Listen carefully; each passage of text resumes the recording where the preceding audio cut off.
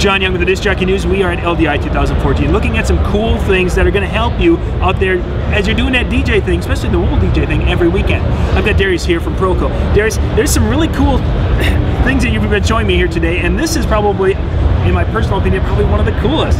Tell us about this cord. Well, is a very exciting cable right here. It's called our Siamese Twin cable. It carries power and either digital audio or DMX all in one jacket. What we've done is we've cabled together in one single jacket your power distro and two channels of AES EBU digital audio.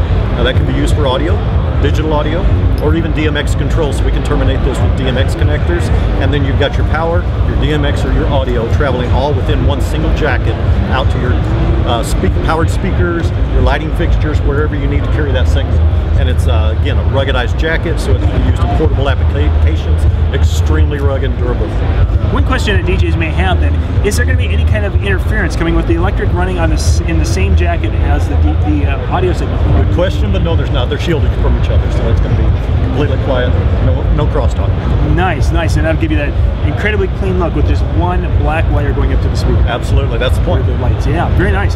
If people like to find out more information, where can they go? They can go to procosound.com. Sounds great, and that has all the information to find dealers and all the different wires and and even your phone number so they can call and ask you. No, no, maybe not that.